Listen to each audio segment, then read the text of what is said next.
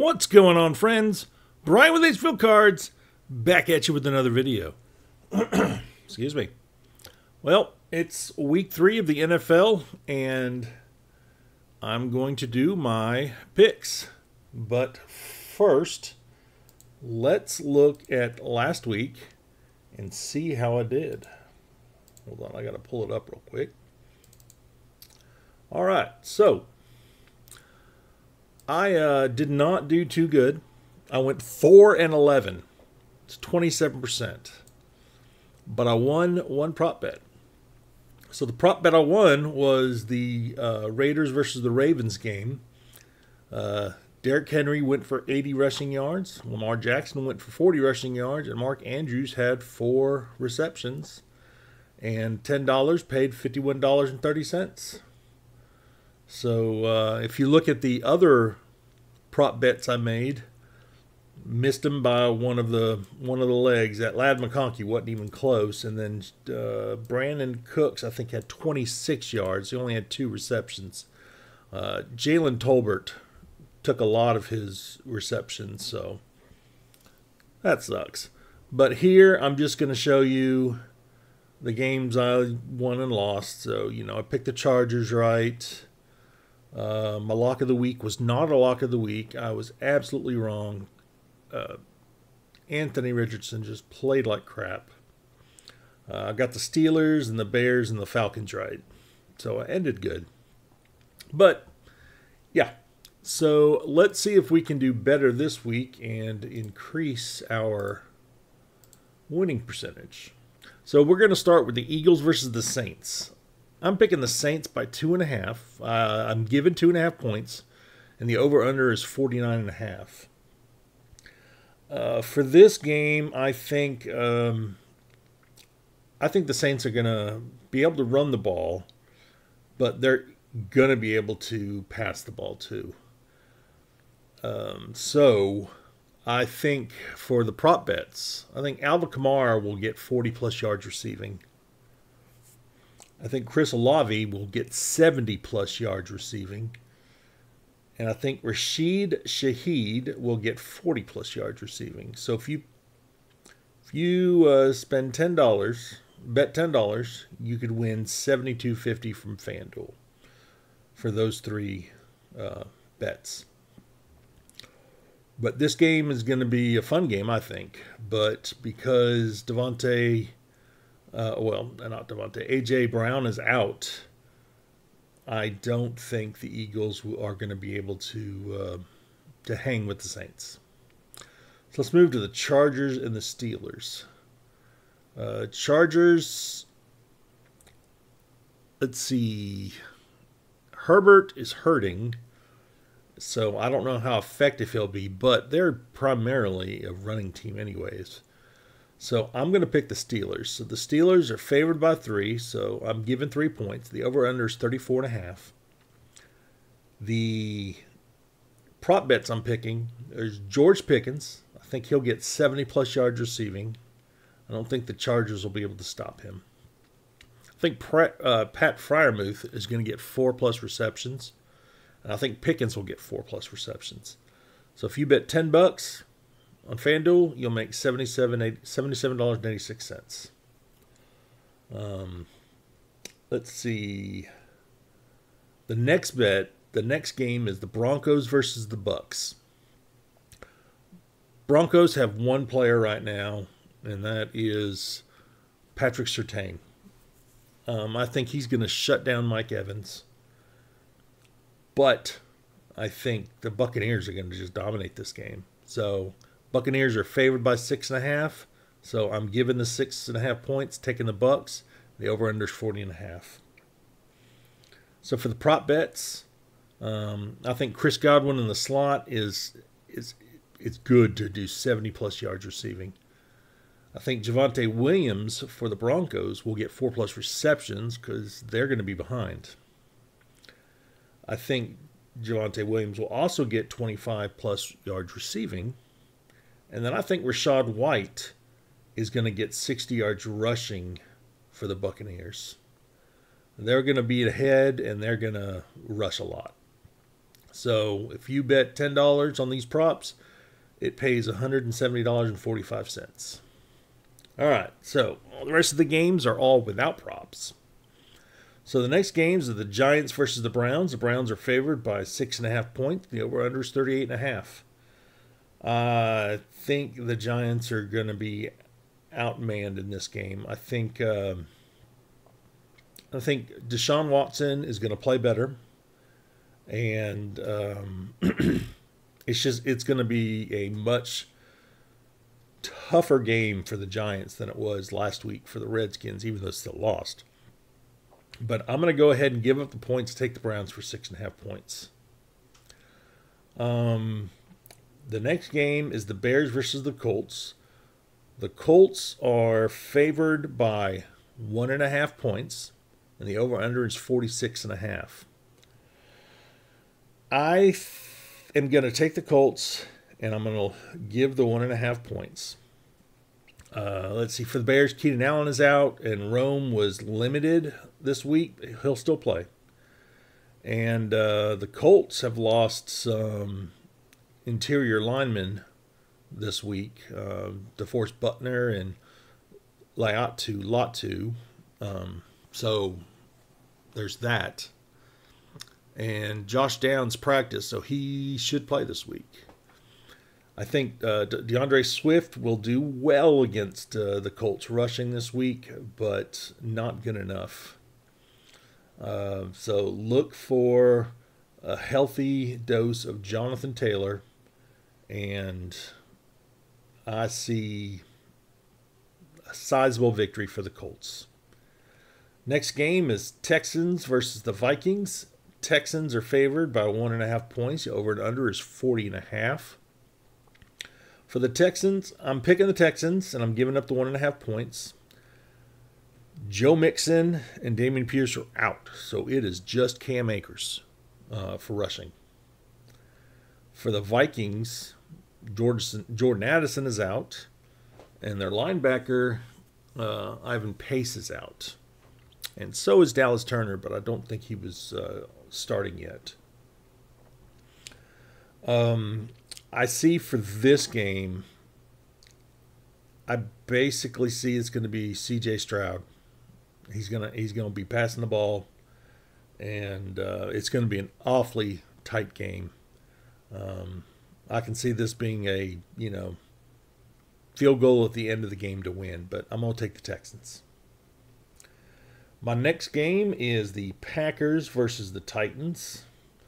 Titans are favored by three. Can you believe that? In fact, let me verify that because that just seems wrong. They are favored by three. All right. Uh, the over under is 36 and a half. Um, so in this game, I think the Titans are going to be able to run the ball. They're going to run it down the throat of the Packers. I don't think the Packers are not going to be able to throw, and Malik Willis just doesn't throw anyways. He, you know, he's going to run the ball mostly. So, I just feel Tennessee is in a better place right now. Uh, the Packers will have Jordan Love next week, but this week it is it is going to be the Titans and it is going to be the running game. It's it's going to be um, 100% Tony Tony Pollard. So play him if you have him in fantasy. Next game is the Panthers versus the Raiders. Raiders are favored by five and a half. Over and under is 39 and a half. Uh, yes, I'll take the Raiders, please. Um, Andy Dalton is starting for Bryce Young. I don't think that's going to help much. Um, personally, I hope he fails just as bad because I don't want it to be all on, all on Bryce Young. But I'm thinking they're going to have an uptick in their offense, but the Raiders have more than enough to, um, I think, to beat the Panthers. So look for a healthy dose of Davante Adams and um, even Zamir White. So, so I think the the Raiders definitely have this. Next game is Dolphins versus the Seahawks. Seahawks are favored by four and a half. The over and under is forty one and a half. Yeah, I'll take the Seahawks uh, minus four and a half. I don't believe in Skylar Thompson, and Raheem Mostert is out again. So the Dolphins are going to rely on De'Von Achane to to win this game for them. But even though Kenneth Walker's out, Zach Charbonnet's pretty good. I think he he will run the ball well, and I expect um, the Seattle Seahawks receivers, especially DK Metcalf, I expect them to have a big game this week. Um, so I will take the Seahawks and I will give the four and a half points. The next game, we got the Lions versus the Cardinals. Lions are favored by three, and the over and under is 51 and a half. Yeah, this is going to be a scoring fest. Uh, the only issue I have is um, and Arnold is his cornerback for the Lions is questionable, but I think he's going to play. Um, he had an illness, and uh, that could be a big deal. Uh, I think Jahmyr Gibbs is going to go off, and I think JMO Jameson Williams will also see a lot of targets. Um, again, this game could go either way. I would feel better if if this was um, two and a half, because I think three is probably what it's going to end up being. But I'm going to go ahead and take the Lions and give up three. Next game is the Ravens. They're favored by one and a half over the Cowboys. The over and under is 47 and a half. Um, this is a tough game for me. I, you know, Ravens don't want to f- start 0 and 3, and the Cowboys don't want to don't want to lose another game. So I really think that I think the Ravens are going to have to pull this out. They have to. Derrick Henry is going to run wild on the Cowboys. Uh, so will um, Lamar Jackson. I think uh, Zay Flowers is going to get a lot of checkdowns, so uh, he should have a good number of receptions. Um, for the Cowboys, Jake Ferguson, um, Ravens give up a lot of points to the uh, receptions to the tight end. So Jake Ferguson is back, so I expect him to do well today. Um, but overall, I'm going to give up the one and a half, and I'm going to take the Ravens. I think they need it more. Uh, the next game is the Niners versus the Rams. Niners are favored by six and a half. The over and under is 44 and a half. Uh, this is the injury game. This is everybody's just injured. So the Rams are missing both their starting wide receivers. Niners are missing uh, Deebo Samuel and Kittle, and of course CMC. But um, Jordan Mason is, is amazing, so you're not missing much there. So I think you're going to see a lot of uh, Brandon Aiyuk, uh, Jordan Mason, and uh, maybe even uh, Jauan, Jauan Jennings for the Niners. Uh, for the Rams, I mean, they are just. They, two of their offensive line starters are also on IR. So I just I don't see them matching up. Their running back isn't going to uh, do well. This is 100% 49ers, and I, I'm going to make this my lock of the week. The next game is the Chiefs versus the Falcons. The Chiefs are favored by three. The over and under is 46 and a half. Um, I think uh, Rashee Rice is going to look good in this game. Um,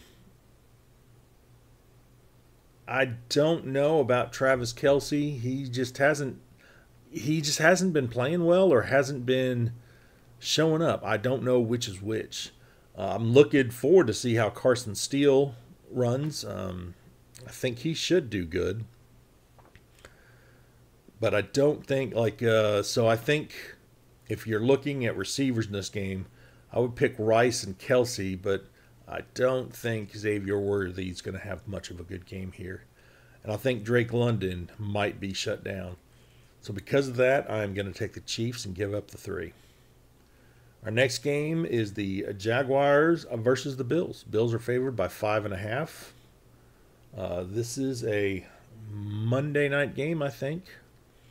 Uh, the over and under is 45 and a half. So Trevor Lawrence has not been looking good. Evan Engram is out, and uh, the Bills are great against the run. So this is this is going to be really tough for the Jaguars. Um, I think this is the game Christian Kirk could do well uh, for some checkdowns, but I've thought that in the past, and uh, he hasn't done it. The uh, rookie wide receiver, what's his name, Brian Thomas Jr. Um, he's a stud, uh, but the Bills are good on the outside receivers, so that's going to be a toss up. But I'm going to go ahead and take the Bills and give up the five and a half points. The last game on the schedule is the Commanders, Redskins, versus the Bengals. Bengals are favored by seven and a half. Over and unders 46 and a half. Tee Higgins is back. That is a big deal. Um, I think the Redskins, or the Redskins, the Commanders are going to be able to run on the Bengals but the Commanders have no secondary to speak of. So Joe Burrow is going to go off. Uh, there's nothing much to say after this. Bengals give up the seven and a half points. They've got this game. So those are my picks for this week. Um, again, don't don't follow what I say. You'll lose money, and this is all just for fun. But um, I really appreciate every one of you um, watching this. Leave a comment down below. Let me know how you think uh, I did or how bad I did. I know last week I did bad. Um, like the video, subscribe if you haven't subscribed already. I'm thinking I might start putting this out on Saturdays, like towards the evening, so it's not so close to game times because people are watching. So, um, yeah. Thanks again for watching, everybody. I truly appreciate it. And I will see you on the next one.